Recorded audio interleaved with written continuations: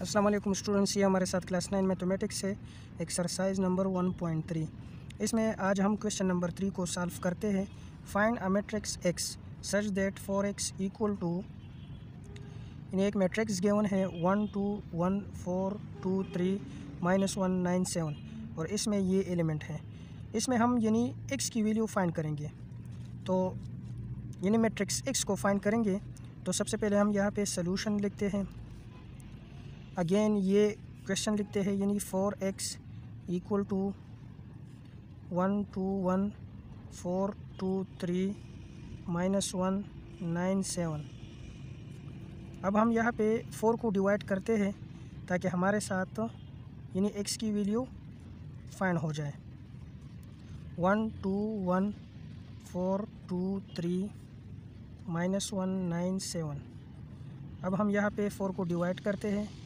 तो यहाँ पे ऑलरेडी वन मौजूद है तो हम इस तरह लिख सकते हैं। तो एक्स हमारे साथ one by four box bracket या matrix one two one four two three minus one nine seven की बराबर है।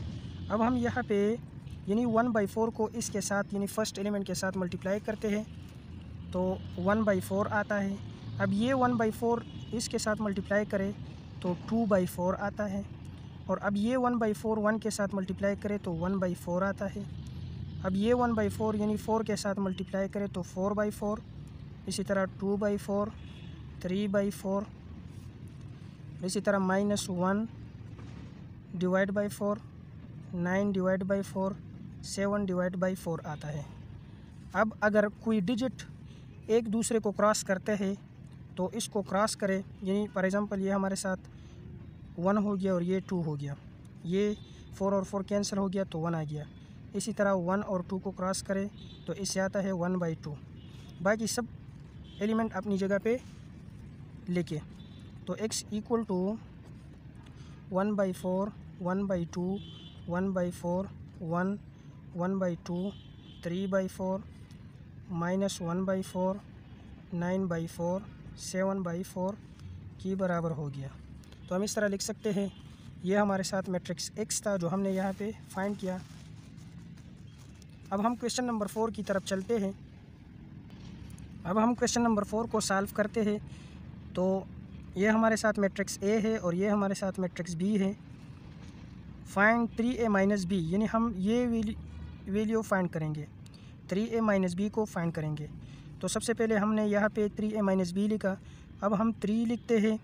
और ए वैल्यू हमारे साथ, यानी ए मैट्रिक्स है, इसको हम यहाँ पे लिखते हैं one two three four five six इसी तरह माइनस अब हम यहाँ पे मैट्रिक्स बी लिखते हैं minus two one minus five four three अब ये थ्री हम इसके साथ मल्टीप्लाई करते हैं तो ये हमारे साथ थ्री हो गया, ये थ्री टू ज़ार सिक्स हो गया three three are nine three four are twelve three five are fifteen आ गया।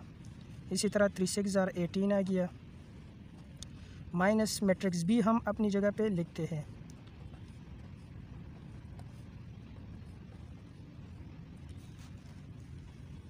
अब हम यानी ये मैट्रिक्स जो हमें गेवन है, यानी इससे हम इसको माइनस करेंगे। तो थ्री अपनी जगह पे हम लिखते हैं माइनस और माइनस प्लस हो गया थ्री अब ये सिक्स हम अपनी जगह पे लिखते हैं माइनस और माइनस प्लस टू हो गया। इसी तरह नाइन हम अपनी जगह पे लिखते हैं माइनस प्लस माइनस हो गया। अब ट्वेल्व अपनी जगह पे लिखते हैं माइनस और माइनस प्लस फाइव हो गया। अब फिफ्टीन अपनी जगह पे आ गया। माइनस और प्लस माइनस फोर हो गया। इसी तरह एटीन अपनी जगह पे आ गया। माइनस और प्लस माइनस थ्री हो गया। अब थ्री और थ्री को ऐड करें तो इससे आता है सिक्स। सिक्स और टू एट आ गया। नाइन से वन माइनस करें एट आ गया। ट्वेल्व और फाइव यानी सेवनटीन आ गया। अब फिफ्टीन से फोर माइनस करें तो एलेवन आता है।